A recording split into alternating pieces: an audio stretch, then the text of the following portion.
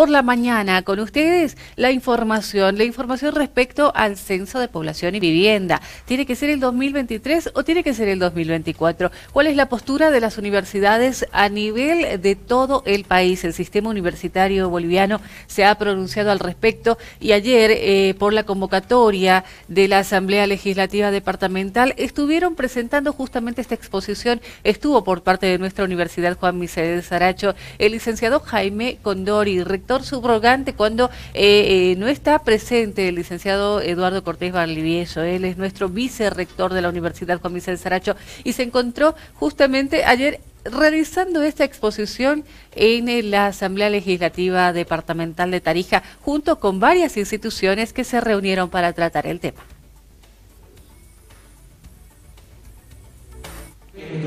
Nuestra máxima representación se planteó de que sea una mesa técnica y no solamente con la participación de la Universidad Gabriel Moreno de Santa Cruz, sino con todo el sistema de la Universidad Boliviana, donde hay técnicos que podrían participar en una mesa técnica. El gobierno, si bien los representantes de los municipios podrían ser parte o un técnico en esa, en esa, en esa discusión, pero algo que era muy importante para nosotros es la participación de organismos internacionales que tienen gente experta en estos temas. Que participe el Banco Mundial, como estaba anunciado ahí, que participe la CEPAL y otros organismos internacionales que van a poder dar muchas luces sobre estos temas técnicos.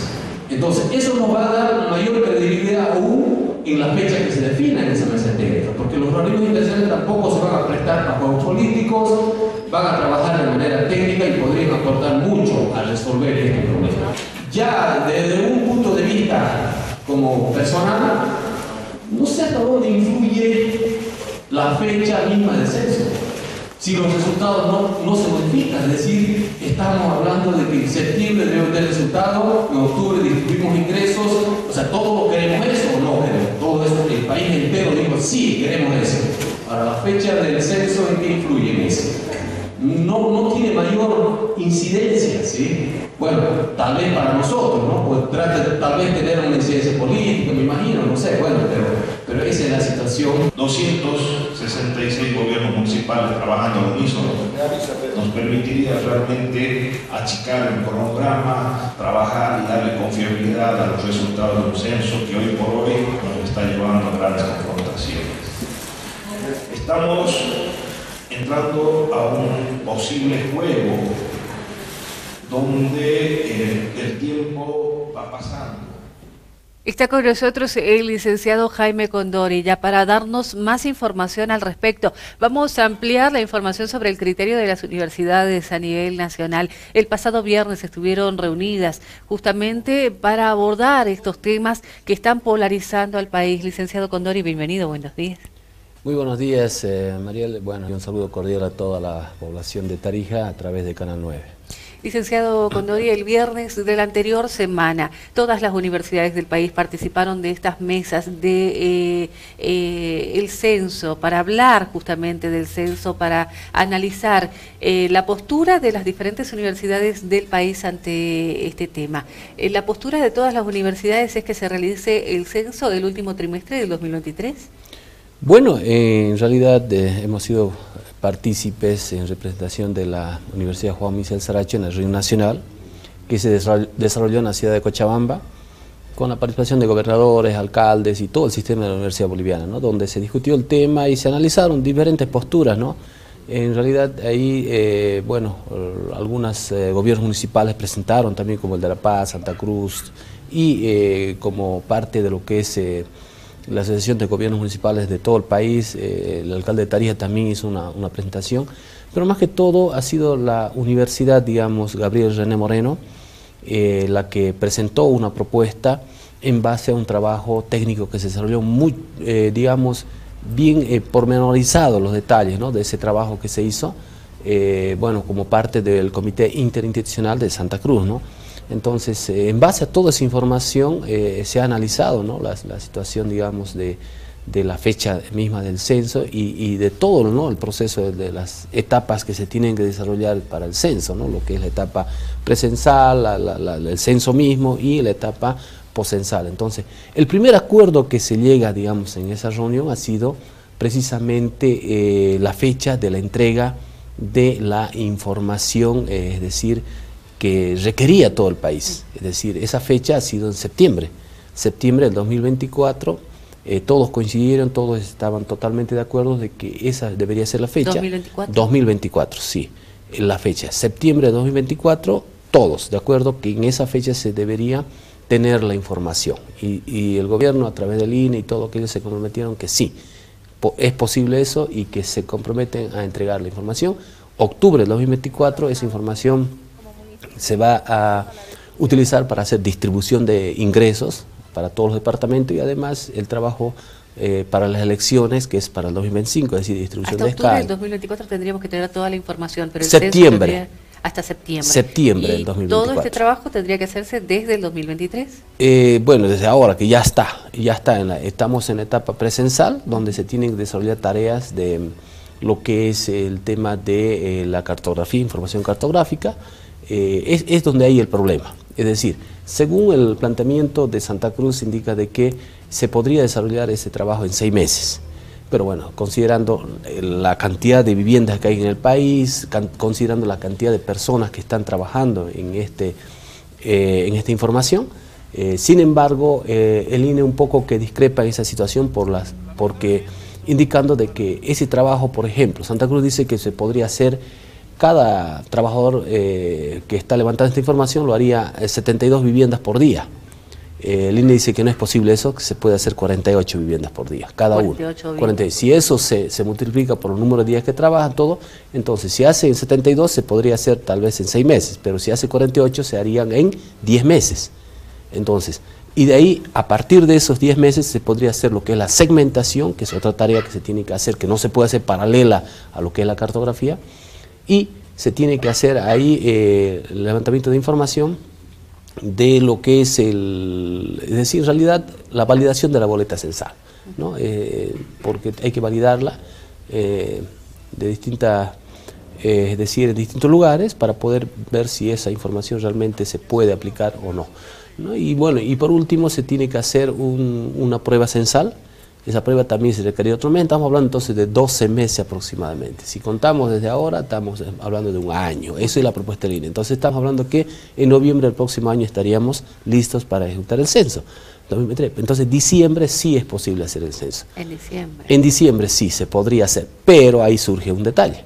Es decir, todos los que son los, municipios de lo que es Pando, Beni y municipios rurales de Santa Cruz indican de que esa época de diciembre no es posible por la situación, eh, digamos, eh, de la naturaleza, por las lluvias y aquello. Es un poco complicado llegar a las comunidades y no se podría desarrollar el censo. Diciembre, ¿En departamentos más pequeños no se podría trabajar de manera más rápida? Que bueno, es lo que lo que se entró en discusión y se población, eso me Sí, sí, seguramente que sí, pero lo que pasa es que todos eh, quieren estar incluidos en el censo, es lo que manifestaron, ¿no? Es lo que manifestó la, gran mayoría de los municipios pequeños. Indicaron de que eh, enero y febrero tampoco es posible, tal vez marzo, y es por eso que el gobierno fija una fecha de abril, abril 2024, ¿no? Se fija la fecha. Sin embargo, ahí surge ya el problema, ¿no? El problema de eh, la fecha de realizar el censo, que bueno, unos quieren 2023, otros quieren 2024, se entró a esa discusión y finalmente nosotros como universidad hemos analizado de que eh, sería prácticamente una comisión técnica la que defina. El sistema universitario tomó esa posición de decir, indicar de que se podría eh, trabajar técnicamente para poder definir esa fecha. ¿Por qué razón? Porque parecería que si el censo se hace el 31 de diciembre del 2023, unos ganan al menos así se notó en esa reunión. Y si se hace el primero de enero del 2024, otros ganan. O sea, más o menos ese es, ese es el tema. ¿En qué radica esta diferencia de que unos ganen y otros ganen en, diciembre? Pues son temas netamente políticos, es decir, es una, una, una, una, una pulseta política, podríamos decir así, entre que quién gana y, quién pierde, más tiene, o menos. ¿Tiene algo que ver con algún dato técnico, eh, con alguna simplemente, variación que haya en la eh, población? Bueno, se han cerrado las posturas, eh, por un lado que quieren que sea el 2024 y por otro lado que, quiera ser, que, quieren que sea el 2023. Ahora, lógicamente, los que quieren que sea el 2023 de alguna manera van a tratar de justificar la forma de que se puede hacer el 2023 y lo que quieren hacer el 2024 eh, van a justificar de cualquier manera que tiene que ser el 2024, o sea, más o menos ese es el tema. Entonces, como sistema universitario nosotros hemos planteado de que sea la comisión técnica, de que defina eso, nosotros no podemos escribir ni por uno ni por el otro lado, sino más bien que sea técnicamente eh, demostrable que la fecha sea coherente y que se pueda desarrollar el censo, ¿no? porque en realidad ya no, como indicaba yo en la asamblea, no tiene mayor incidencia este, eh, en, nuestro criterio la fecha misma del censo, sino ya eh, lo que interesaba, lo más importante son los resultados que ya se van a tener en septiembre y que es lo que todo el mundo quería, prácticamente los resultados en septiembre. Bueno, están los resultados en septiembre, ahora la fecha, por lo digo, es otro tema ya aparte que seguramente que, el, bueno, hoy es la reunión la primera reunión esperemos que se resuelva este tema a través de los criterios técnicos, con la participación, me imagino, de todo el sistema de la Universidad Boliviana, con su representación y además de, algunos municipios y todos aquellos que quieran participar y definir. ¿no? Yo creo que es, el, es el camino porque ninguno va a querer ceder, digamos, si hay una reunión entre partes eh, en conflicto, van a querer ceder, ¿no? salvo que habría un acuerdo político, una cosa de esa naturaleza. Pero yo creo que el camino es eh, una discusión técnica y se, se pueda respetar esa fecha y bueno. Y lamentablemente este tema está polarizando el país, ha polarizado ya el país entre quienes quieren el censo del 2024 y quienes lo quieran el 2023. Y como usted lo dice, cada uno con sus criterios correspondientes y la fundamentación, como usted bien lo dijo, también la Universidad Gabriel René Moreno ha presentado todo un trabajo muy, muy, muy sesudo, como usted lo decía, muy trabajado con todos los detalles para plantear cuándo se puede realizar el censo. Eh, mientras tanto, Santa Cruz ha anunciado que va a asistir a esta reunión, a estas mesas técnicas en eh, Beni, pero no levanta el paro y por lo tanto tampoco se levanta el bloqueo ¿no? a Santa Cruz y estamos con una situación bastante compleja. Eh, se anuncian 72 horas aquí, eh, se anunciaron, se le dieron al gobierno 72 horas y si no, en Tarija también entramos en un paro indefinido a partir del lunes. ¿Cómo toma esta postura la universidad?